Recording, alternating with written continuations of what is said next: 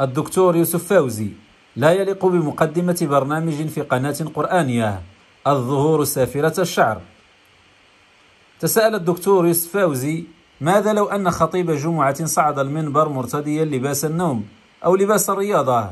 ثم أجاب لا شك أن فعله هذا سيعتبر خرما لمروءة الخطيب ولا توصل بالتوقيف قبل نزوله من المنبر. وأضاف الأستاذ الجامعي في تدوينة له تعليقا على ظهور سيدة غير محجبة على القناة الدينية قناة السادسة. فكذلك دروس العلم في قناة قرآنية. لا يليق بمقدمة البرنامج. الظهور سافرة الشعر.